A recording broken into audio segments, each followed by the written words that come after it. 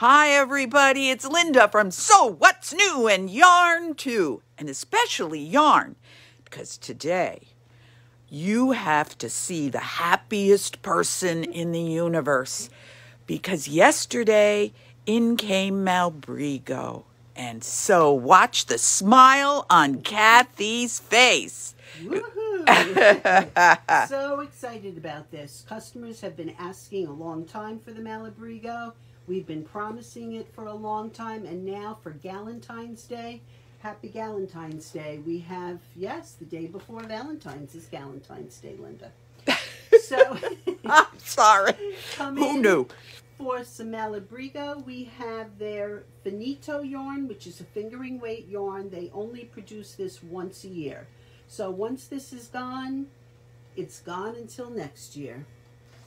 Isn't it beautiful? It comes in, well, we have all of these beautiful colors. Then this is the, their worsted. It is the, once I get behind this thing, I can never think, the Rios. This is their workhorse yarn. It is a worsted weight superwash yarn. It is so nice and soft. The colors are beautiful. And we also would like all of you to tell us what are your favorite Malabrigo yarns because in future orders we can order what our customers would like. We, um, I know everyone loves Rasta. We have been waiting. There is no Rasta in stock.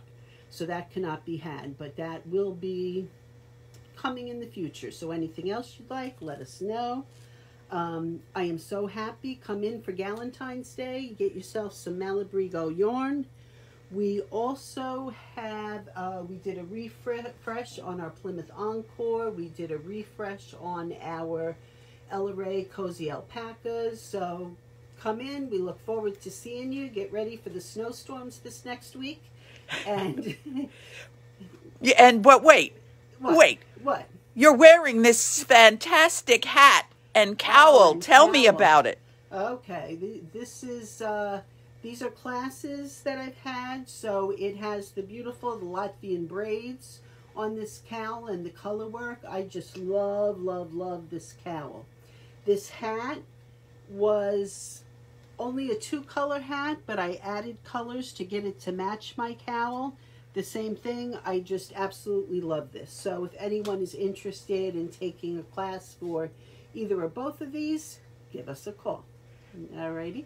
All righty, is that it? That's, so the big excitement from Sew What's New with Yarn, too much yarn, is Malabrigo, and it is beautiful. Now, there's something interesting about the Malabrigo that you said, Kathy, and or as I was unpacking it, mm-hmm.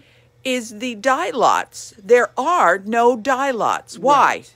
There are no dye lots because in hand dyed yarn, it's impossible to to match the yarns.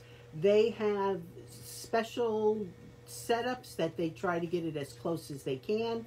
When you use this, if you're making a garment, you may want to alternate rows to to sort of blend it in. Um, So within a within a bag, Uh-huh. because we get them by packs of ten, Right, the right. Rios anyway.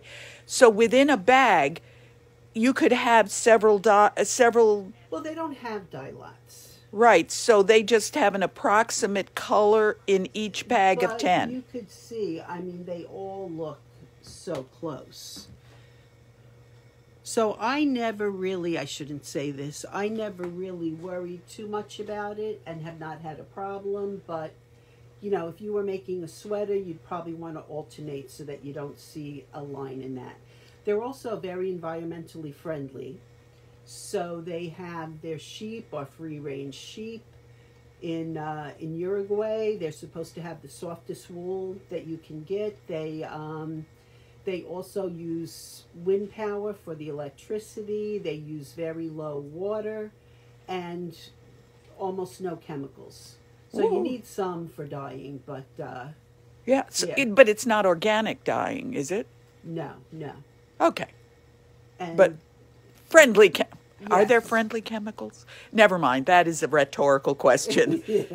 and they also give work to people that would not have in Uruguay would not have jobs otherwise. So they're very friendly to the people that live in the area and people in Uruguay actually can't afford Malabrigo yarn, which is why it's shipped to Europe and the United States.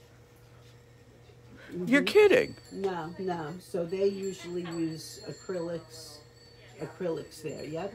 Acrylics are cheaper? Yes, yes. This is beautiful wool yarn. Another interesting fact, Malabrigo just started in 2005. It was two brothers dyeing yarn in their kitchen.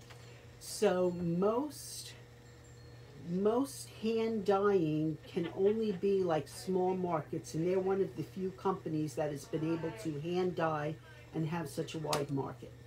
Oh, so that's why it is so hard sometimes to get their product.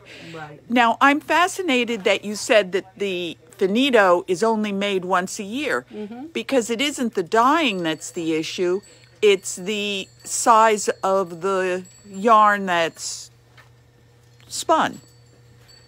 Correct? Well, Because the colors were the same. I, I, there's an indecita in both the Rios and the and the finito. Mm-hmm. See, yep, yep. they're both the same color grouping. Right. So it's I'm fascinated that they only spun the size once. Yeah, I'm just curious. Right. So they have other fingering weight yarn. So the reason I knew they only did this one once a year is the label says so. it says it comes from the finest Uruguayan wool available in commercial volumes. And it only comes to market once a year in limited quantities. Okay. So we just got lucky with this. I didn't know that when I ordered it.